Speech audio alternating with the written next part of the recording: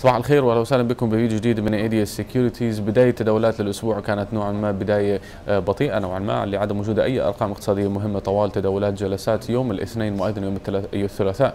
وهذا الشيء الذي أدى إلى تداول الاسواق من جديد في قطاع أو في نطاق ضيق نوعا ما طوال تداولات هذه الأيام. لكن أيضا خلال تداولات اليوم كان لدينا القليل من الأرقام الاقتصادية خلال فرق التداولات الآسيوية بينما الأنظار تتجه نحو المملكة المتحدة اليوم في ظل وجود العديد من الأرقام الاقتصادية طوال تداولات اليوم. البداية خلال فرق التداولات الآسيوية كان لدينا ال Financial Stability Report من قبل البنك الاحتياطي النيوزيلندي واللي هو يعني تقرير الاستقرار المالي والذي ذكر من جديد أن البنك المركزي يرى أن هناك مخاطر قد انخفضت في قطاع الإسكان لكن أيضا من جديد لا زالت هناك مخاطر آه، تحيط بقطاع ال dairy أو اللي هو الانتاجات أو المنتجات الألبان. هذا الشيء الذي أدى مرة أخرى أيضا إلى نوع من التحركات في الأسواق. من جديد شهدنا آه، بالنهاية الحديث من قبل البنك المركزي النيوزيلندي مرة أخرى بأنه آه، سعر صرف الدولار النيوزيلندي لا زال غير مبرر ولا يمكن الاستمرار في هذه المستويات. على الرغم من ذلك شهدنا ارتفاع في الدولار الأسترالي أمام جميع الدولار النيوزيلندي عفوا أمام جميع العملات العالمية واللي يرتفع بشكل أكبر كان أمام الدولار الكندي والدولار أيضا من جديد. الدولار الأسترالي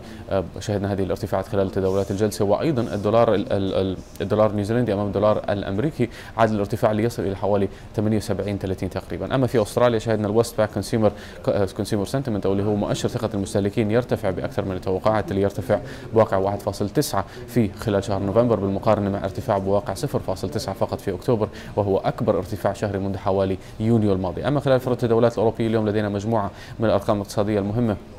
من المملكه المتحده وأيضا الاتحاد الأوروبي والتي في الغالب ما سيكون لها تأثيرات مهمة على الأسواق، اولا تقرير الوظائف في المملكة المتحدة توقعات آه، تعتبر نوعا ما إيجابية والذي سيتم الإعلان عنه في تمام الساعة التاسعة والنصف بتوقيت جرينتش، التوقعات نوعا ما اولا ال average earnings أو اللي هو متوسط الأجور المتوقع أن يرتفع للشهر الثالث على التوالي بواقع 19 نقطة المئوية في سبتمبر بالمقارنة مع ارتفاع بواقع 17 النقطة المئوية في أغسطس. والذي قد يكون أيضا ثالث ارتفاع شهري على التوالي أيضا وأكبر ارتفاع منذ إبريل الماضي، أما ال claimant count واللي هي طلبات الإعانة بسبب البطالة التوقعات تشير لانخفاضها بواقع 24.9 آلاف في أكتوبر بالمقارنة مع انخفاض آخر بواقع 18.6 آلاف أيضا في سبتمبر الماضي والذي قد يكون أيضا أدنى مستوى منذ حوالي أو أكبر انخفاض شهري منذ حوالي شهرين، أما أخيرا معدلات البطالة التوقعات تشير لانخفاضها قليلا إلى 5.9 في سبتمبر من أصل 6% في أغسطس والذي قد تكون أيضا أدنى قراءة فيما لو أتت الأرقام، كما التوقعات ستكون أدنى قراءة منذ أكتوبر من العام 2009 أخيرا من الاتحاد الأوروبي أيضا التوقعات تشير لارتفاع الإنتاج الصناعي بواقع